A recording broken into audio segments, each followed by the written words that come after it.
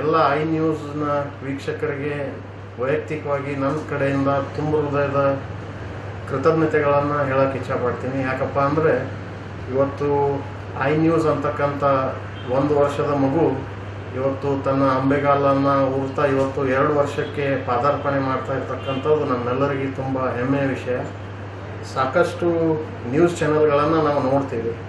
ಅದು digital news ಆಗ್ಬೋದು YouTube news ಚಾನಲ್ಗಳಾಗ್ಬೋದು ಐ ನ್ಯೂಸ್ನ ವಿಶೇಷತೆ ಏನಪ್ಪ ಅಂದರೆ ಅತ್ಯಂತ ಸಣ್ಣ ವಯಸ್ಸಿನಲ್ಲಿ ಇವತ್ತು ಮಹತ್ವರವಾದಂಥ ಒಂದು ಹೆಜ್ಜೆಯನ್ನು ಇಡ್ತಾ ಇವತ್ತು ನಮ್ಮ ನಾವು ನೀವೆಲ್ಲರೂ ಸೇರಿ ಅವರಿಗೆ ಪ್ರೋತ್ಸಾಹಿಸೋಣ, ಈ ಮಾಧ್ಯಮದ ಎಲ್ಲ ಸಹೋದ್ಯೋಗಿಗಳಿಗೆ ಸಹಕರಿಸೋಣ ಅಂತ ಹೇಳಿ ಹೇಳ್ತಾ ಮತ್ತೊಮ್ಮೆ ಐ ನ್ಯೂಸ್ ಇನ್ನೂ ಎತ್ತರೆತ್ತರವಾಗಿ ಬೆಳೆದು ಕರ್ನಾಟಕ ಅಷ್ಟೇ ಅಲ್ಲ, ಇಡೀ ರಾಜ್ಯ, ಇದು ರಾಷ್ಟ್ರವ್ಯಾಪಿ ಅದು ಹೊರಹೊಮ್ಮಲಿ ಅಂತ ಹೇಳಿ ಹೇಳ್ತಾ ನನ್ನ ಎರಡು ಶುಭ ನುಡಿಗಳನ್ನು ಹೇಳ್ತೇನೆ.